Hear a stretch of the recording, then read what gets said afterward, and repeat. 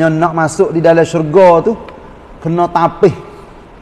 Kena apa ni wi bersih dulu benda-benda yang dikehendaki oleh nafsu syahwat. Dan neraka dikelilingi dengan perkara yang diingini oleh nafsu syahwat. Ya galiknya lagu tu lah. Dan dia orang duduk dalam neraka dia pasal orang turut nafsu. Sebab tu Nabi rakyat di sini nak menunjuk katanya perasaan manusia ketika duduk di dunia ni kalaulah dia mikir ha dunia saja mikir ha nafsu syahwat saja. Tanda katanya jala dah tu. Mengaka nanti nak telai dia duk panggil sama mari mari mari orang-orang hok turut nafsu mari mari mari. Duduk dalam aku. Tapi orang yang nak duduk di dalam syurga alhamdulillah. Orang hok kena perenyik nafsu dia. Takabur ego apa? Lawan hukum Tuhan tak taat kepada Allah. Ya lah belaka tu. Nak boleh masuk dalam syurga dia kena buat benda-benda pasal tak tak molek. Tapi dia kena buat perkara yang baik. Dia jadi siapa sup kena sabar tabah hati dan sebagainya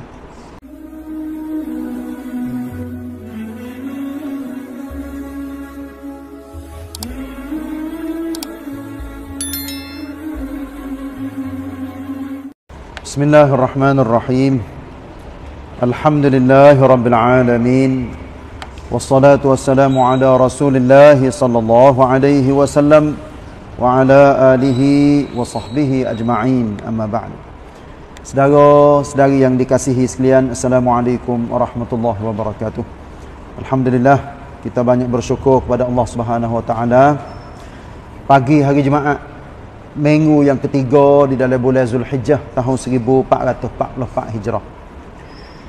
Kita masuk di dalam hadis yang ke-198 di dalam kitab Ma'alim As-Sunnah An-Nabawiyah yang dihimpun oleh Syekh Saleh Ahmad Asy-Syami. Um, ehm, hadis yang ke-198 ni An Anas bin Malik radhiyallahu anhu qala qala Rasulullah sallallahu alaihi wasallam Huffatil jannatu bil makarihi wa huffati an-naru bis syahawati. Hadis dikeluarkan oleh Muslim nomor 2822. Maksudnya dari Anas bin Malik radhiyallahu anhu berkata, sabda Rasulullah sallallahu alaihi wasallam, syurga dikelilingi dengan perkara yang dibenci oleh jiwa ataupun nafsu. Maknanya nak masuk di dalam syurga tu kena tapih kena apa ni wi bersih dulu benda-benda yang dikehendaki oleh nafsu syahwat dan neraka dikelilingi dengan perkara yang diingini oleh nafsu syahwat. Ya galiknya lagu tu lah. Dan dia orang duduk dalam neraka dia pasal orang turut nafsu. Sebab tu nabi rakyat di sini nak menunjuk katanya perasaan manusia ketika duduk di dunia ni kalaulah dia mikir ha dunia saja mikir ha nafsu syahwat saja tanda katanya jala dah tu neraka Nanti nak telai dia duk panggil sama mari mari mari. Orang-orang hok turut nafsu mari mari mari. Duduk dalam aku. Tapi orang yang nak duduk di dalam syurga, alhamdulillah. Orang hok kena perenyik nafsu dia. Takabur, ego, apa? Lawan hukum Tuhan, tak taat kepada Allah. Ya lah belaka tu. Nak boleh masuk dalam syurga, dia kena buat benda-benda pasal tak tak molek tapi dia kena buat perkara yang baik jadi siapa sup kena sabar tabah hati dan sebagainya hadis yang ke-199 An Abi Hurairah radhiyallahu anhu qala okay. Anna Rasulullah sallallahu alaihi wasallam qala lamma khalaqa Allahu al-jannah لما خلق الله الجنة والنار أرسل جبريل إلى الجنة فقال انظر إليها وإلى ما أعددت لأهلها فيها. قال فجاءها ونظر إليها وإلى ما أعد الله لأهلها فيها. قال فرجع إليه قال فوعزتك لا يسمع بها أحد إلا دخلها فأمر بها وحفت بالمكاره فقال ارجع إليها فانظر إلى ما أعددت لأهلها فيها. قال فرجع إليها فإذا هي ما حفت بالمكاره فرجع إليه. فقال وعزتك لقد حفت لقد خفت ألا يدخلها أحد. قال اذهب إلى النار فانظر إليها وإلى ما أعددت لأهلها فيها. فإذا هي يركب بعضها بعضا فرجع إليه فقال وعزتك لا يسمع بها أحد فيدخلها. فأمر بها فحفت بالشهوات فقال ارجع إليها فرجع إليها فقال وعزتك لقد خشيت ألا ينجو منها أحد إلا دخلها. Hadis dikeluarkan oleh Abu Dawud 4744 At-Tirmizi Puluh, dan An-Nasa'i 3772 dan lafaz ni adalah lafaz di dalam At-Tirmizi. Hadis hasan sahih maksudnya dari Abu Hurairah radhiyallahu anhu dari Rasulullah sallallahu alaihi wasallam bersabda Nabi wayak ha ni aku iaitu ha syurga dan ha aku dan nikmat azab yang disediakan ke dalam syurga dan ni aku Nabi katakan setelah Allah menciptakan syurga dia berfirman kepada Jibril pergilah engkau melihat syurga dan apa yang aku sediakan kepada ahlinya. Jadi syurga ni ada siap-siap tu hebat sejak daripada awal-awal kejadian dulu lagi. Belum daripada buat manusia dah tahulah berapa puluh ribu tahun. Nah ada siap-siap dah. Jibril pun disuruh supaya kita tengok gapo yang ada di dalam syurga. Maka Jibril pun segera pergi ke syurga dan melihatnya serta melihat apa yang Allah menyediakan kepada ahlinya. Maknanya orang nak masuk di dalam syurga Jibril kita tengok siap-siap dah. Sedap lagu mana seronok bahagia suka hati dan sebagainya. Selepas itu Jibril kembali kepada Allah serta berkata wahai Tuhanku demi kemuliaanku demi kemuliaanmu Setiap orang yang mendengar tentang syurga pasti ingin memasukinya. Dia cerak anak tak? Orang apabila dia dengar hak syurga ni, dia cinta nakal dalam otak dia, dalam hati dia, eh kalau dia aku boleh duduk di dalam syurga, go tu, go ni, go tu, go ni. Dia buat sadut nok belakang tu. Ha, tu buat sadut nok masuk duduk di dalam syurga sebab seni. Setelah itu Allah memerintah supaya syurga diliputi dengan segala hal yang dibenci oleh jiwa, iaitunya semua amalan yang menjadi kewajipan syariah. Ha, tu, tu dah tu. Nak ayat katanya syurga ni ya pagar dah. Dipagar syurga ni dengan benar-benar hak kita kena taat kepada Allah. Kena taat, kena patuh, kena buat, kena sabar, kena perenyek nafsu kita. Ha tu gitu. Tu orang nak boleh masuk di dalam syurga. Lalu dia berfirman, "Wahai Jibril, Pergilah ke syurga, lihatlah apa yang aku sediakan kepada ahlinya. No. Ha, kena tak? Jibril pun segera pergi dan melihat syurga. Pergi sekali lagi. Selepas itu dia kembali kepada Allah serta berkata, Wahai Tuhanku, demi kemuliaanmu, ni Jibril kecek, koyak kepada Allah. Sesungguhnya aku khawatir. Khawatir maknanya penhuang. Roba, bosan, takut-takut, tu je panggil khawatir. Tidak ada seorang pun yang dapat memasukinya. Ha, tengok. Bila Jibril ya kita tengok sekali pula, dia rayak lalu kepada Allah. Kalau kita kecek bahasa kampung mudah-mudah ini pala eh berapa orang lah nak masuk dalam syurga tu nak ayat katanya kena pandan banyak-banyak perkara orang nak boleh masuk di dalam syurga. Saya misal hadis yang selalu kita dok dengar dak. Nabi ayat la yadkhulul jannata. Man kana fi qalbihi mithqalu dharratin min kibr. Hadis sahih al-bukhari. Tidak akan masuk syurga orang yang ada sifat takabur di dalam hati dia walaupun besar biji sawi.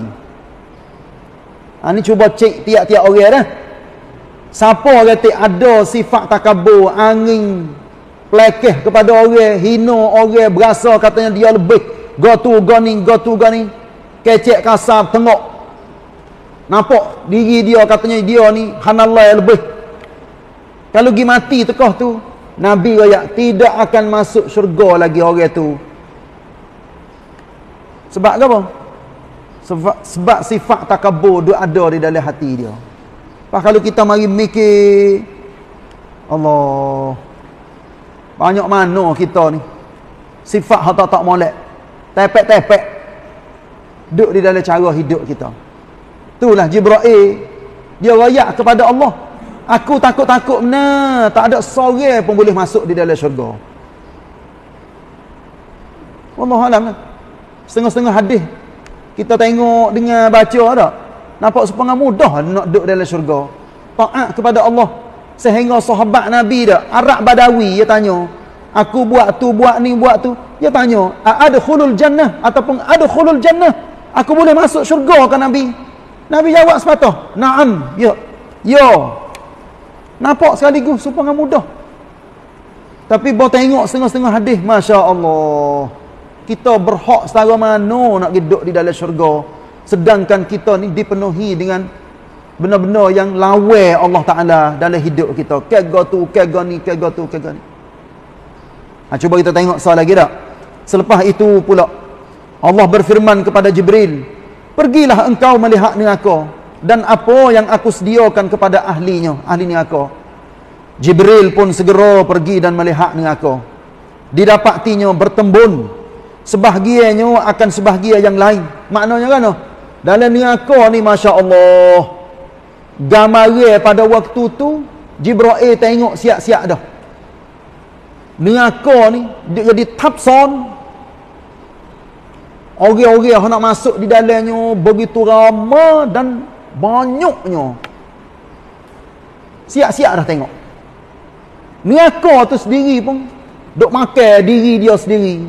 Masya Allah. Itulah. Selepas itu dia kembali kepada Allah dan berkata, Wahai Tuhanku, demi kemuliaanmu, setiap orang yang mendengar tentangnya pasti tidak ingin memasukinya. Siap ada dah? Orang dah dengar ha ni aku, oh ini pada Pasal masuklah dalam neraka. Sebab go tu, go ni, go tu, go ni. Kena seksa dalam neraka. Hak sekecil-kecilnya. Iaitunya dipakai akan selipar ataupun teropoh. Sehingga gelegok otak atas kepala. Ni sekecil-kecil. Orang yang duduk di dalam api neraka yang Nabi rayak di dalam hadis. Lepas tu hak besar lebih pada tu. Wallahu'alam. Nah. Zidnahum azaban fawqal azab. Ni tu herayak di dalam suratul Nahli. Iaitu kami tambah azab atas azab azab atas azab hari ni sara ni esok lebih pada tu lagi lepas tu sehari di dalam akhirat sikit lagi sama dengan seribu tahun di atas muka dunia lepas cuba kita gambar katanya sen sahat dan paraman sara mana orang duduk di dalam api neraka? Sebab tu Jibril royak selalu kepada Allah. Kalau dia orang dengar ha neraka ni tak ada seorang pun ingin nak duduk di dalam neraka. Kalau dia ni Allah Taala buka pintu hati sungguh takut kepada neraka. Sebab tu ayat-ayat Quran bila kita baca ha ha neraka ni dak kita kena berasa katanya dia mari sentuh hati kita. Ha tu. Gitulah dak selepas itu Allah memerintah supaya neraka diliputi dengan syahwat.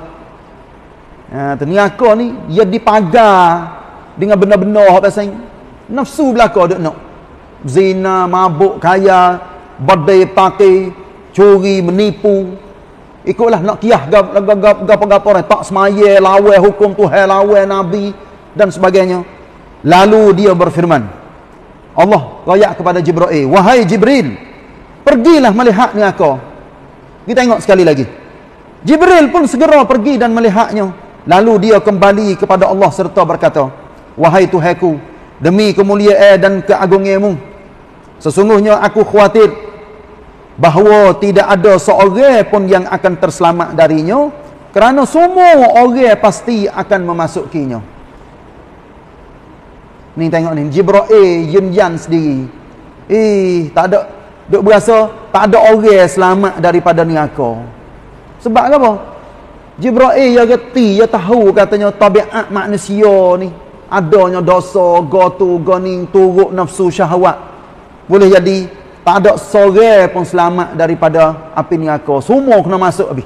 Itulah Allah Taala royak di dalam surah yang dibaca tiap-tiap pagi hari Jumaat dah la amla anna jahannama minal jinnati wan nasi ajma'in aku akan penuh neraka dengan jin dan manusia semua. Fadhuqu bima nasitum liqa'a yaumikum hadha. Rasakanlah kamu hei manusia hei jin yang kena masuk di dalam api neraka hidup di dalam api neraka rasa apa? Azab yang aku seksa kamu semua.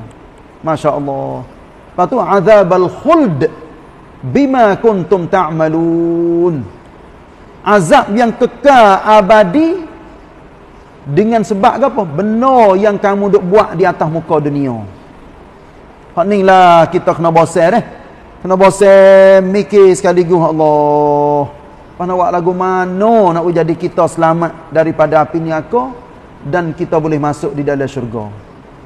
Nah, insya-Allah sekadar ni saya saat ni dah azan nak pergi habis ni. Nak we buat kita buat klik dah ni, ketah ni.